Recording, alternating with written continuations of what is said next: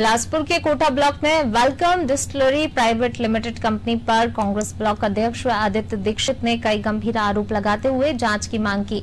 आदित्य दीक्षित का कहना है कि वेलकम शराब की फैक्ट्री में मजदूरों का शोषण किया जा रहा है। फैक्ट्री में न तो कोरोना गाइडलाइन का पालन किया जा रहा है और न ही श्रम कानून का। फैक्ट्री में नाबालिग बच्चों से कार्य करवाया जा रहा है जो गलत है। यही नहीं, फैक्ट्री में मजदूरों को कोई मेडिकल सुविधा, कैंटीन सुविधा या बीमा सुविधा भी नहीं मिलती। फैक्ट्री का दूषित पानी भी किसानों के खेतों में गिराया जाता है जिससे उनकी फ़सलें खराब हो रही हैं। इन सभी बातों से आदित्य दीक्षित ने अधिकारियों को अवगत कराते हुए कार्रवाई की मांग की है। काम पर था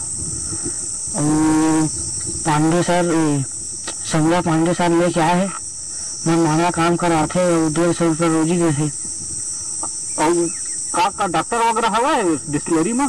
वहाँ पे डॉक्टर ही वार्ड बाय भेज देते ऐसा लगती थी है कोरोना निकल थी वैसे वहाँ पे कई बार गाँव के लोगों, वहाँ क्षेत्र के जो आसपास के गाँव हैं, उनका भी कई बार कहना हुआ, शिकायत है कि मनमाने ढंग से, अवैध रूप से बहुत ये वेलकम के लोग जो कार्य कर रहे हैं।